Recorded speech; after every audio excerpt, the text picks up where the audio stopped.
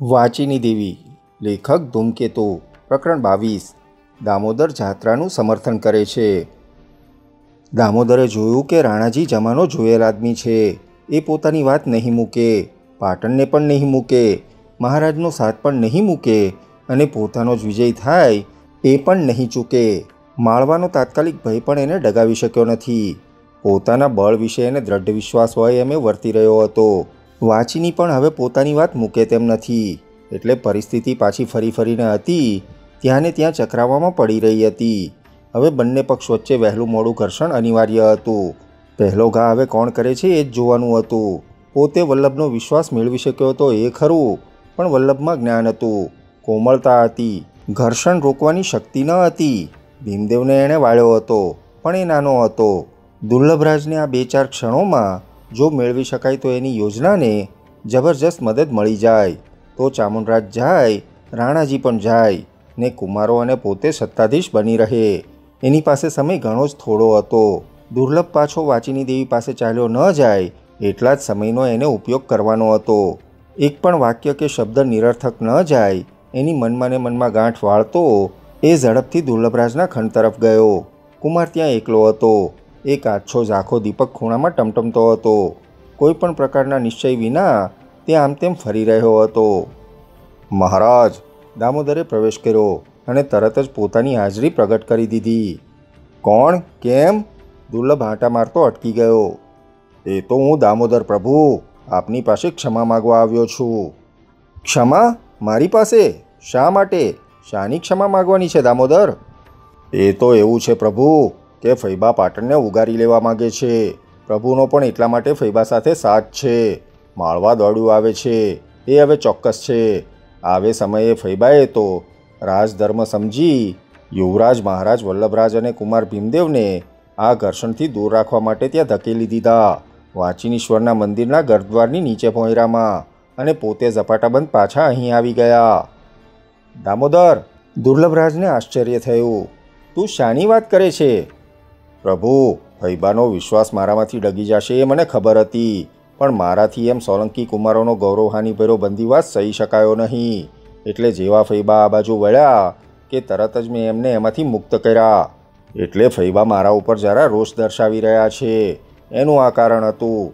આટલું કહેવા માટે જ હું આવ્યો હતો કે જેથી તમારો મારા ઉપર અવિશ્વાસ ન થાય અને આપની ક્ષમા માગવા. બસ પ્રભુ, ત્યારે દામોદરે પ્રણામ કરી પાછા જવા માટે પગ ઉપાડ્યો.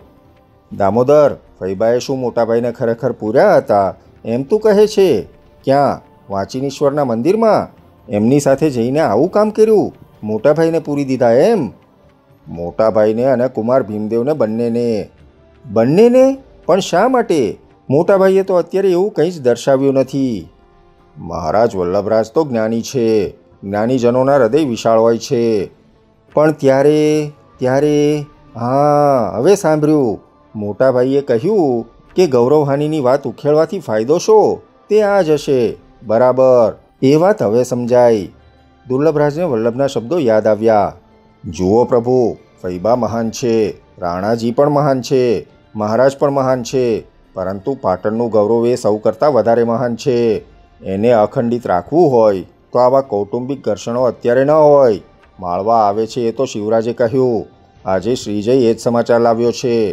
સિંધુ રાજની ગજસેના એ કંઈ જેવી તેવી વાત નથી. એટલે મહારાજ ચામુંડદેવ જાત્રાએ નીકળતા હોય ને એ રીતે આપણી મહાન સેનાઓ પણ રણક્ષેત્રના રસ્તે પૂર્ણ ઉત્સાહથી પડતી હોય તો એવી આતક કોણ જવા દે? પાટણમાંથી અત્યારે હવે સૌ બહાર હશે. રાણાજી, ફૈબા, મહારાજ સૌ બહાર હશે તો પાટણનો વિજય થશે. અને મહારાજની જાત્રા એ એક જ પ્રસંગ એવો છે કે જેમાં સૌ ગૌરવથી બહાર જઈ શકશે. દુશ્મન કંઈ કળી નહીં શકે. પ્રજાજનો ઘર્ષણ જોઈ પક્ષ લેવા નહીં દોડે અને વિજયનાથથી ગાજતું સૈન્ય પાછું ફરશે. આજે, અત્યારે, આ ઘડીએ તક છે મહારાજ. પછી તો બંનેના ઘર્ષણ વધુ તીવ્ર થતા જશે. હું તો તમારી ક્ષમા માગવા આવ્યો હતો. અને મારા મનને એમ પણ ખરું કે આ વાત તમને કરી હોય તો ફૈબાથી ચેતીને ચાલો. ઠીક પ્રભુ, હું રજા માગું છું. પણ દામોદર ત્યારે આ વાત મહારાજની જાત્રાગમનની તે શરૂ કરી છે. એ ખરું? ના પ્રભુ, મેં તો મહારાજ વલ્લભરાજની સૂચનામાં પાટણનો ઉદય દીઠો, ફૈબા અને રાણાજીના ઘર્ષણમાં અત્યારે પાટણનો અસ્ત દીઠો, એટલે આ રસ્તો સ્વીકાર્યો. હું તો એક જ વસ્તુમાં માનું છું, મહાન પાટણમાં અથવા પાટણના મહાન નાગરિક થવામાં. ઠીક પ્રભુ. મહારાજ જાત્રાએ જશે તો ઘર્ષણ અટકશે એમ? ઘર્ષણ તો પ્રભુ તમે અને મહારાજ વલ્લભરાજ એક થાઓ, કુમાર ભીમ એક થાય, એટલે અટક્યું જ પડ્યું છે. રાજ મહારાજ ચામુંડનું છે, વારસો તમારા સૌનો છે. ગૌરવવાની થાય છે તો સોલંકી સિંહાસનની થાય છે. મુશ્કેલી વધે છે તો તમારી વધે છે. તમારે એનો રસ્તો કેમ કાઢવો એ જોવાનું છે. મને તો મહારાજ વલ્લભની સૂચના અદ્ભુત લાગે છે. એમાં કોઈની પ્રતિષ્ઠાને હાની પહોંચતી નથી. સૌના માન સચવાય છે. પાટણનું માપ કળાતું નથી. એની ચાલની જાણ થતી નથી. માલવા સામે એકત્ર થઈને બહાર ધસવું છે. તમે એ જ કરવા માગતા હતા ને પ્રભુ? એ વાત પણ અહીં સચવાય છે. એથી વધુ શું? પણ મહારાજ માનશે? શું? જાત્રાએ જવાનું. પ્રભુ, જાત્રાએ જવાનું મહારાજને નહીં ગમતું હોય, તો આપણે જાત્રાએ જઈશું ને મહારાજને સાથે લઈશું. પણ ફૈબાએ સાખશે નહીં સાખે તો મહાલય ઘણો વિશાળ છે. ભલે એવો અહીં રહેતા, એમાં શું? પણ પાટણને શત્રુથી તો બચાવવું પડશે, એમાં કંઈ હાલશે? તો તો, હું પણ મોટાભાઈ પાસે જાઉં. ફૈબા પાસે હવે તો ઘર્ષણનો જ અનિવાર્ય માર્ગ રહ્યો છે. ફૈબાએ પણ ભારે કરી, હો. પાટણના ગાદી વારસને પણ પૂરી દીધો. એમની પાસે બીજો માર્ગ નથી, દામોદર. ને પાટણે તો અત્યારે એક હોય એમાં જ લાભ છે. ચાલ, હું સાથે આવું. પ્રભુ, તો તો. એ વિરલ દ્રશ્ય હશે. ગજરાજ ઉપર બેસીને છત્રચામર સહિત મહારાજ ચામુંડ જાત્રા કરવા જશે. કુમાર ભીમદેવે છત્ર પકડ્યું હશે. વલ્લભરાજ મહારાજ પટ્ટણીઓ સાથે પગપાળા આગળ ચાલતા હશે. અને પાટણના તમામ એકત્ર સૈન્યને મોખરે, પ્રભુ, તમે પોતે સેનાપતિ પદે હશો. તો એ વિરલ દ્રશ્ય હશે. કદાચ માલવાને આવતું રોકવાને એ બસ હશે. લાટને એ ખબર પડશે ને એ પણ વિચાર કરશે. રસ્તો તો હવે એ જ છે પ્રભુ. પણ દરેક પળ દરેક વર્ષ જેટલી કિંમતી છે. જે કરવું હોય તે ત્વરિત કરવું જોઈએ. દામોદર, ચાલો, ત્યારે હું પણ ત્યાં મહારાજ પાસે જાઉં છું. રાણાજીની પણ ઈચ્છા તો છે હો પ્રભુ. દામોદરે ધીમેથી નવી વાત મૂકી. શાની, એઓ પણ વૃદ્ધ થયા છે. આવો મહાન પ્રસંગ છે. મહારાજની સાથે જાત્રાએ સીધાવવાની. રાણાજીના મનમાં ઊંડે ઊંડે પણ ઈચ્છા તો છે.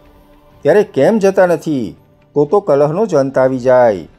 પણ એમને મહારાજનું સાનિધ્ય છોડવું ગમતું નથી. મહારાજની અવગણના ફૈબાના હાથે પાછી ન થઈ જાય. એટલે ફૈબા પણ સિદ્ધપુરવા સ્વીકારે, તો જ રાણોજી જાય. દામોદર વાતનું બીજ મૂકીને દુર્લભની સામે જોઈ રહ્યો. દુર્લભ કંઈ બોલ્યો નહીં. તે પોતાનો સેનાપતિનો વેશ સજી રહ્યો હતો. થોડીવાર પછી તે બોલ્યો, દામોદર, ચાલો. પ્રભુ ઓયા ભટ્ટની ભાવિ વાણી સાંભળીને તો ધ્રુજી જવાય છે. આજે હું તમને એ માટે પણ મળવા આવ્યો હતો. શી છે ઓયાભટ્ટની વાણી? તમે તો સાંભળી હશે ને પ્રભુ? કે છે રાજ હત્યા કા રાજ સંન્યસ્ત? બેમાંથી એક અવશ્યમેવ થશે જ થશે. ને થશે તો જ નગરીનું વિઘ્ન જશે. રાજ હત્યા જ થઈ જાત ના હું દોડીને ગાંડાની પેઠે ત્યાં પડ્યો ન હોત તો. પણ શું કરવું પ્રભુ? ગાંડા થયા વિના તો અત્યારે મહાલયનો ખંડેખંડ લોહીભીનો થઈ ગયો હોત.